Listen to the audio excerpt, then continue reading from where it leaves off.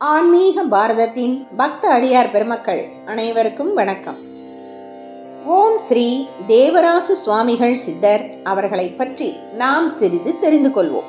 புதுச்சேரி நகரில் உள்ள முத்தையால்பேட்டையில் ஆயிரத்தி தொள்ளாயிரத்தி முப்பத்தி ஐந்தாம் ஆண்டு முதல் ஆயிரத்தி தொள்ளாயிரத்தி நாற்பத்தி எட்டாம் ஆண்டு வரை தம் திருவுடலை சுமந்தவாறு வலம் வந்துள்ளார் சுவாமிகள். யாராவது வந்து அவர்களிடம் தங்கள் நோய்கள் பற்றியோ அல்லது குறைகளை சொன்னாலோ தரையில் உள்ள மண்ணை எடுத்து கையில் கொடுப்பார். அதை அவர்களது நெற்றியில் இட்டுக்கொள்ள சொல்லி சைகை மூலம் தெரிவிப்பார். சில அன்பர்களுக்கு வாயில் போட்டுக்க சொல்லியும் கூட சைகை காட்டுவார். அவர்களது பிணிகளும் நீங்கிவிடும்.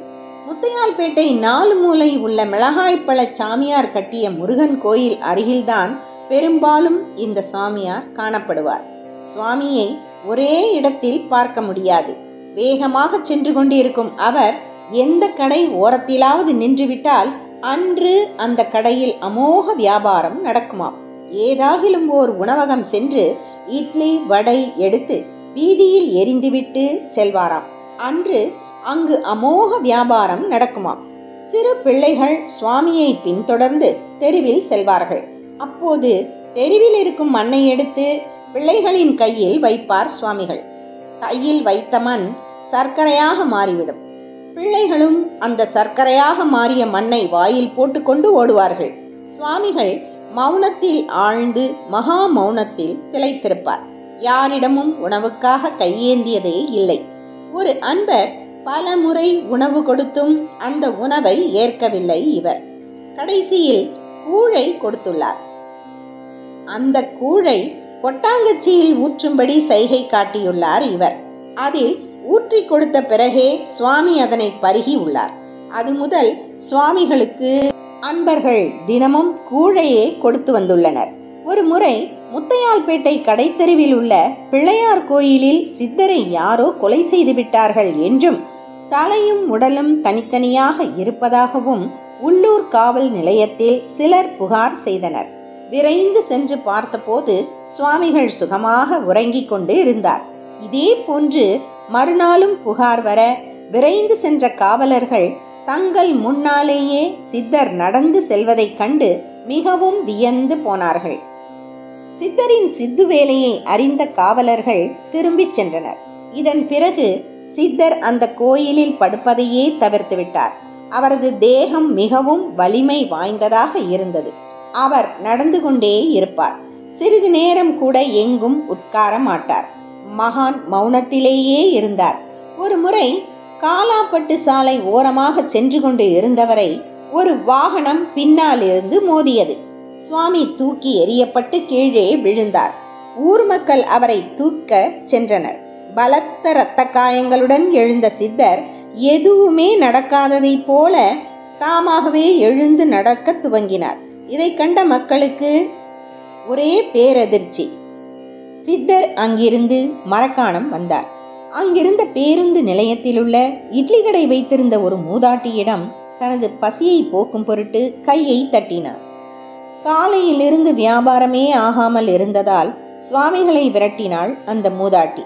அங்கிருந்து சித்தர் சென்று விட்டார். ஆனால் அன்று முழுவதும் எந்த வியாபாரமும் நடக்கவில்லை. மேலும் அந்த மூதாட்டியால் வாயை திறக்கவோ அங்கிருந்து நகரவோ முடியவில்லை. இவரை தேடி வந்த மூதாட்டியின் பேத்தி இந்த பாட்டியின் நிலையை கண்டு கண்ணீர் வடித்தாள். அருகில் இருந்தவர்களிடமெல்லாம் விசாரித்து நடந்ததை அறிந்து கொண்ட பேத்தி சித்தரை தேடி கண்டுபிடித்து அவரிடம் மன்னிப்பு கேட்டாள். பாட்டியை குணப்படுத்தும்படி கெஞ்சினாள்.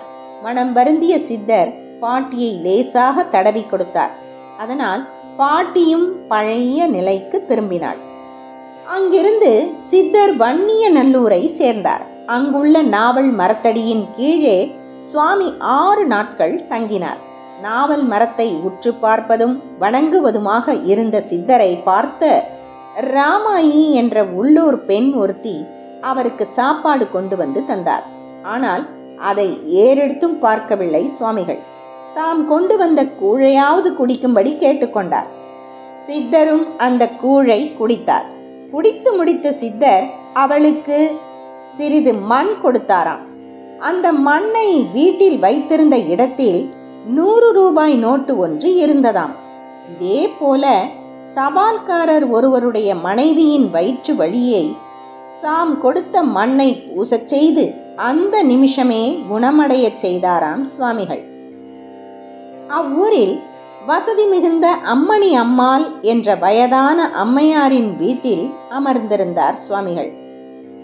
அம்மணி அம்மாள் சித்தரை அங்கிருந்த கம்பை எடுத்து அடித்து விரட்டினாள். சித்தர் மீண்டும் மரத்தடிக்கே வந்து அமர்ந்து விட்டார். சித்தரை பெரம்பால் அடித்த பெண் மறுநாள் வீட்டை விட்டு வெளியே சென்றவர் இன்று வரை வீடு திரும்பவில்லை. அவர் சித்தரை அடித்ததால் தான் ஏதேனும் தண்டனை அடைந்திருக்கலாம் என்று மக்கள் நம்புகின்றனர். இறைவனை அடையும் நேரம் வந்துவிட்டதை உணர்ந்த சித்தர் இருபத்தி இரண்டு ஆறு ஆயிரத்தி தொள்ளாயிரத்தி நாற்பத்தி எட்டாம் ஆண்டு ஆணி மாதம் செவ்வாய்க்கிழமை மாலை மூன்று முப்பது மணிக்கு பூராட நட்சத்திரத்தில் உடற்சட்டை தூக்கி எறிந்தார். அன்று கூழ் கொண்டு வந்த ஏழுமலை என்ற நபரை அங்கே இருக்கச் சொன்னார். கூழ் குடிக்காமல் இருந்துள்ளார். தான் சமாதி அடையும் நேரத்தில் பயங்கரமாக சிரிப்பு ஒன்று சிரித்தார். அதன் பிறகு அவரது உடலில் எந்த சலனமும் இல்லை. ஊர் மக்கள் ஒன்று கூடி அந்த இடத்தில் ஓர் சிறிய மேடை கட்டி வழிபட்டு வந்தனர். சித்தரின் சீடர்களான கோவிந்தசாமி மற்றும் ராஜப்பா ஆகிய இருவரின் கனவிலும் தேவராசு சுவாமிகள் தோன்றி தாம் சமாதி அடைந்த இடத்தை உணர்த்தினார். என்றோ எடுத்த புகைப்படத்தை எடுத்துக்கொண்டு உள்ளூர் மக்களின் உதவியால் சுவாமிகளின் சமாதியை தேடி கண்டுபிடித்தனர். சமாதியை நெருங்கிய சீடர்களுக்கு ஆவி வடிவில் சுவாமிகள் தரிசனமும் தந்துள்ளார்கள். ஓம் தேவராசு சுவாமிகள் போற்றி போற்றி. ஓம் நம சிவாய சிவாய நமவும் திருச்சிற்றம்பலம். வாழ்க வளமுடன்.